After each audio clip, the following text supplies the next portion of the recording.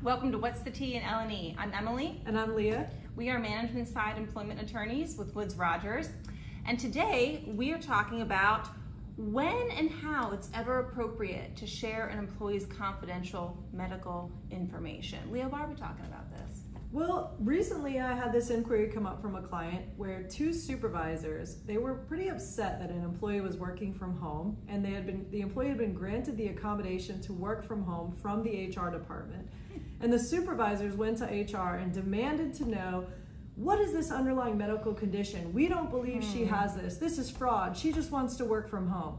Well, can so the, then the question was, can the HR department tell the supervisors what this employee's medical condition was?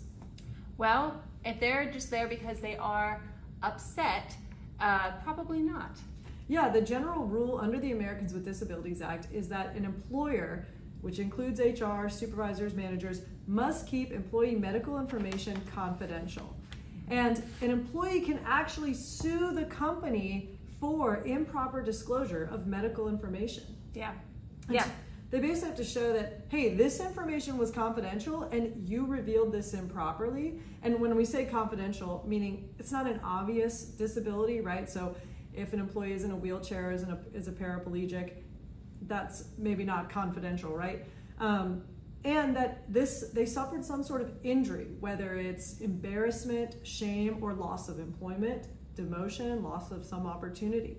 Absolutely. So there are some instances where um, a manager is privy can be privy to at least some information. It's an easy way to think about it is that it's on a need to know basis. So a supervisor should really only be informed about an employee's medical condition to the extent that there's a restriction on the employee's ability to do their job and need an accommodation.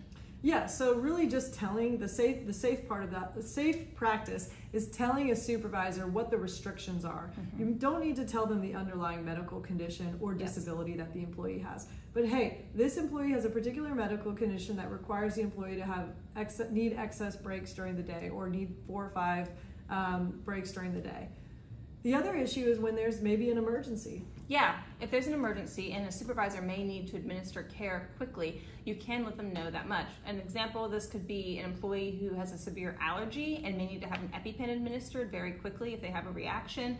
Um, an employee who has diabetes and has passed out multiple times in the workplace, an employer, you know, may need to tell their supervisor that there's a fainting risk.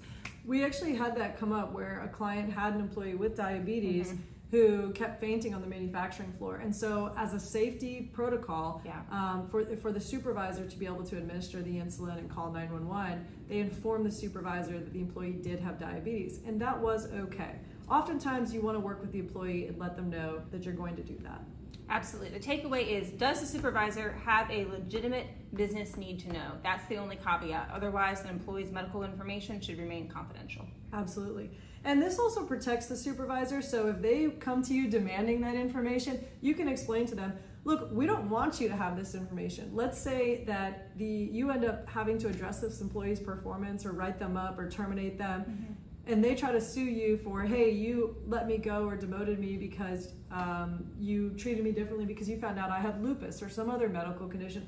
Well no we want the supervisor to be able to say no i didn't even know that. I only knew that she couldn't be outside for x amount of time a day or couldn't have sun exposure.